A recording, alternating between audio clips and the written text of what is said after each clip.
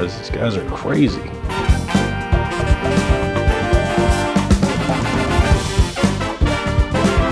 Do we know those cameras like make me look skinny? I look great. I'm refreshed. My beard is trimmed. I don't look tired. Poker goes wrong, I'm gonna be the best hairdresser around.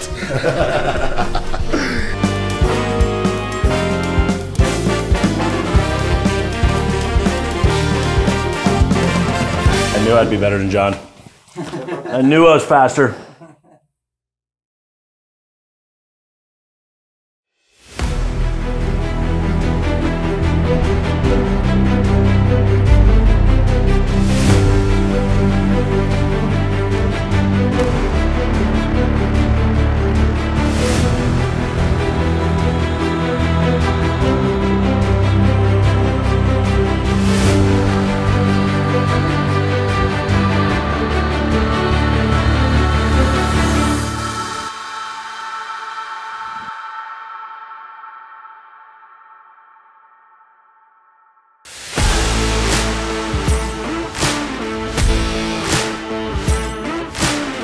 So was- that was very fast. Um, we maybe lasted one and a half orbits um, in the first event. Not the best start you want to have. The, the only hand we really played was the cutoff raises, the small blind calls, and we're in the big blind with about 40 big blinds with four three of clubs.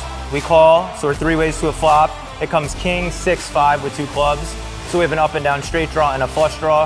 Um, small blind checks, we check. The fucking dickhead bets. Fold, we raise, and then he jammed. But anyway, he has ace king and we lose. Does a quick first entry. We started off with an amazing table. It was really, really good. We were chipping up, things were going great. But then, as people were busting, good players were coming to the table with lots of chip. It's going well. I'm still in. First, second break or whatever. I late reg. So I've uh, 103,000. Blinds were just 1,200. My table table's really fun. It's a mystery bounty, and I am. We're on like the third break of the day, and my brain is frazzled. All right, finally the 1K Mystery Bounty uh, here at WSOP. It's our first WSOP event. And uh, since I'm here with you guys, it obviously did not go as planned. First WSOP events, kind of standard stuff. But with the Triton competition, it hurts a lot more. This means, I mean, it's not good, right? We just busted the 1K mystery bounty. Uh, we just busted the 1K mystery bounty and we cashed, so we got some points for the Punter's Pad challenge.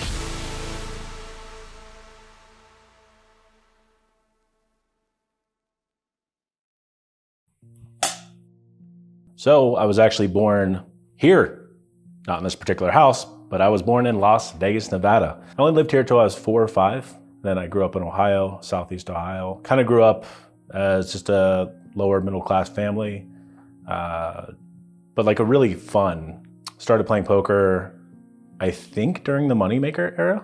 Started playing the, the $5 home games. It was just something we got really addicted to. We played almost every night. And then, I don't know, that passion carried over with me my entire life. 20 years later, I'm still at it. My dad was a big gambler. Um, not like a like a problem gambler or anything like that. Fun fact, my middle name is Keno. Keno is actually like a slot game or something. The reason my middle name is Keno is actually very interesting. My dad and my doctor were gambling at a saloon. My dad won, I think 14,000, 17,000, something like that. And Keno, the next day, my mom goes into birth and my doctor says, I'm not going to deliver the baby unless you name your kid Keno. While my mom is, you know, my mom is great, but she's like, deliver this damn baby. and uh, she's like, I'll, I'll, I'll, his middle name will be Keno. I think it was supposed to be like Alexander or something kind of boring. So it ended up going from that to Keno. So my middle name is Robert Keno Kuhn. The thing I would say I probably like the most about playing poker is the competition. Like I don't like being bad at things. And poker is one of those things where yes, you kind of can't control your own luck, but you can control how hard you work. I'm quite good at recognizing where my skill level is and where I need to get better at. and then working on those areas like very quickly.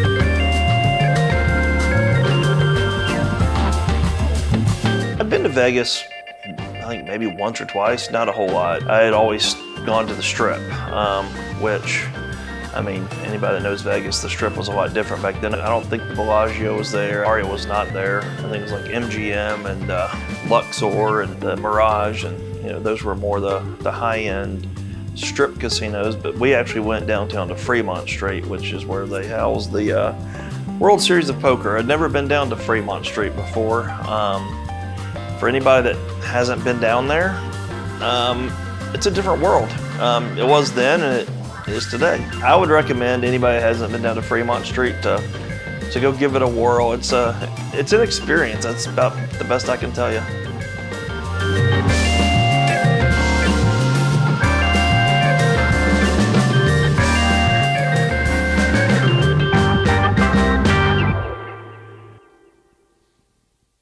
Lady and gentlemen, it is officially challenge day here today at the Punter's Pad, and you will be playing the age old bar game of darts. Okay. Simple concept. You're going to play 01. You have 301 points to basically work down to zero. The first player to hit zero on the nose will be the winner. The other four will then proceed to go to a vote on Twitter. And the person with the least amount of votes will then be forced to buy the winner in to the next event. Oh, what? What's the next event? Good luck. Oh, no. Oh shit. It's the main.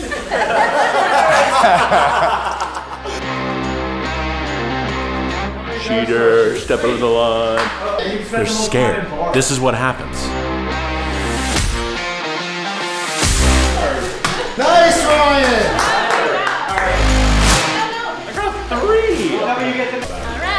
Right, here comes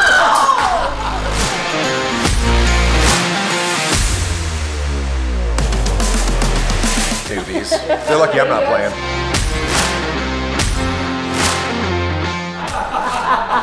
That's the most beautiful one point you'll ever see. Though. Yeah, great job. Nice shot, Drew. This is fun. Nice shot. No! Going into round four now. Rob at 220, leading the pack. Ryan not far behind at 227. I might win this while winning this. We'll see. All right, at the end of round eight, Ryan is leading, just needs 28 points to take it down, followed by Rob at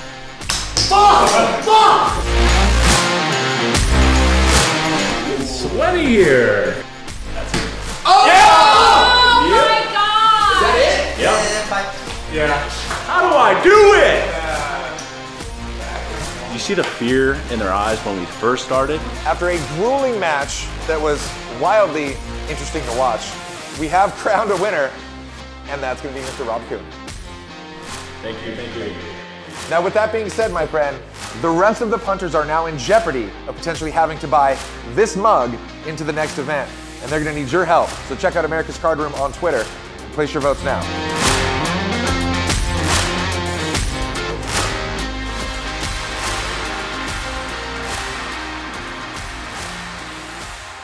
So how I became a professional poker player is actually a very interesting story that most people don't know. A long, long time ago, Poker Stars used to have like these free rolls, and I played this one in particular every night, and it would give you to a $55 ticket, the nightly 55. And eventually I ended up winning and playing the $55 ticket.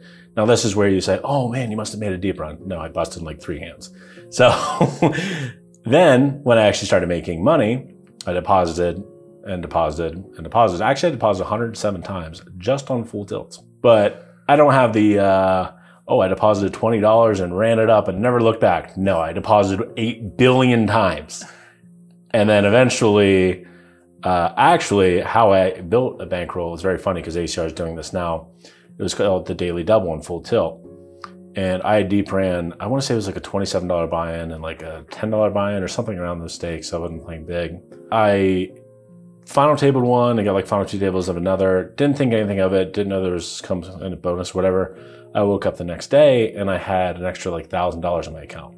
I call my buddy, uh, who's my actual current roommate, Sam, and one of my best friends, and I said, dude, somebody accidentally sent me a thousand dollars. Um, like I have a bankroll, like let's go. And then he figures out I won the daily double, and then then I started running really good, and I won a lot.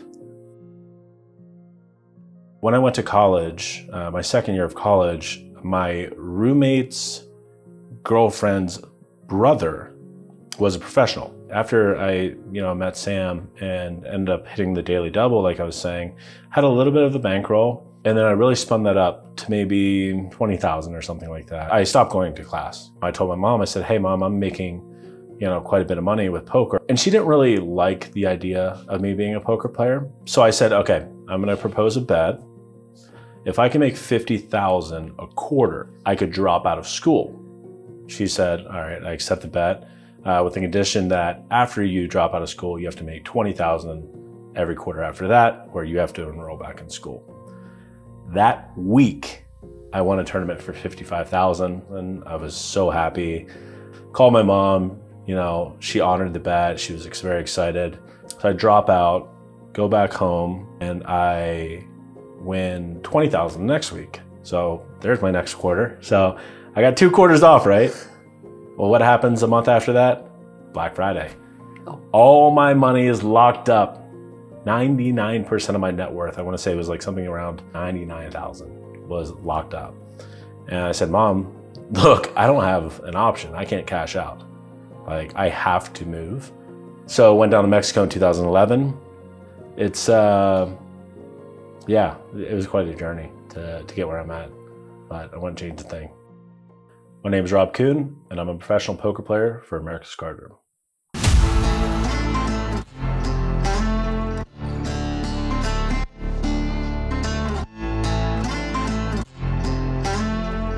I tried to set the trap, and I trapped myself.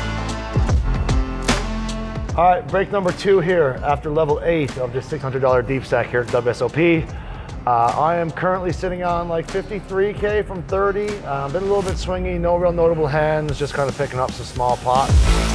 Headed to the Paris side because I late regged and I have to walk over there. So come with me. All right, so we're doing good. We're at 170K. You start with 30. It's going well, a lot better than the other one. These walks of shame never get old. And I'm walk of shame, I mean, I busted the tournament. So I'm out of the 600. What's up, guys? Back in the fucking losers lounge again. Uh, pretty tilted right now. This is our second event we played, and we did not make it to dinner break once again.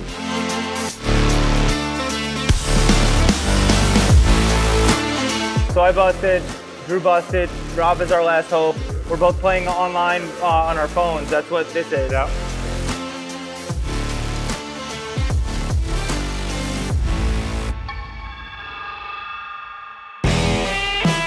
battling in the 300. We've already lost about a quarter of our stack. Nothing better than a $300 live tournament, 10 handed poker. On a bit of a roller coaster right now. I'm not sure how long we'll be at this table. We'll see. I'm still in. I know it's amazing.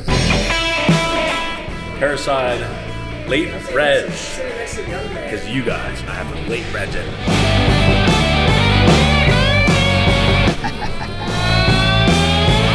The fucking bag, baby. Back tomorrow, 10 a.m. Let's do some fucking work.